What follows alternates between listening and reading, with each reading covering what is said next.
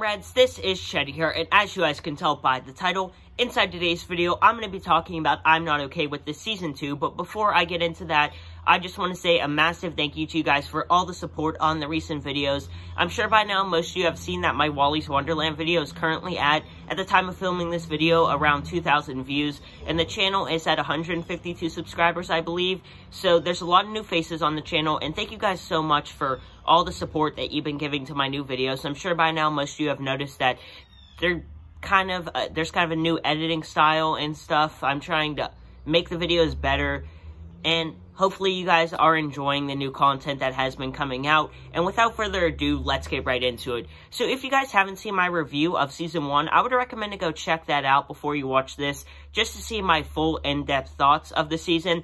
And the finale of this first season is crazy. It ends off on a cliffhanger with Sid finally encountering the figure that has been stalking her throughout the entirety of the season. And I don't know who this figure could be. It could be Sid's dad or possibly someone that's associated with him.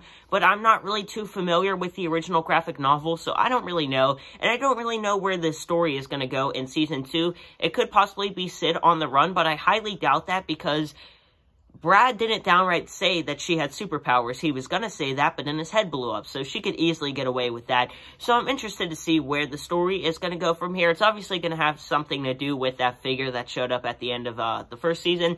And I did see some articles asking the question, do we need a season two of this show? And to answer that question, most definitely yes. You cannot have the show end off on a cliffhanger like that. As far as release dates go, I would assume it would be coming out sometime in 2021. If not then, then definitely in 2022. But it is Netflix we're dealing with, and if you look at their previous track record, they tend to wait a bit to do a new season of a show. So, I wouldn't put it past them to choose the latter. Either way, guys, I'm super excited for the second season. If you haven't seen the first season, I would highly recommend checking it out. I feel like it would be a great show to watch during quarantine. It's just such an entertaining show. It's definitely a fresh of breath air in the genre of superhero TV shows, but like I said in my review, if you've seen it, I wouldn't classify this with those shows because this is just on a whole nother level. And I will definitely keep you guys posted on all the news that does come out about the second season. And as of right now, guys, I'm going to give it an 8 out of 8. That's the video. Hopefully you guys did enjoy it. If you haven't done so, make sure to drop a like, subscribe, and turn that post notification bell. And I will see you guys very soon with a brand new video. This is Shy Sign Off. Peace out.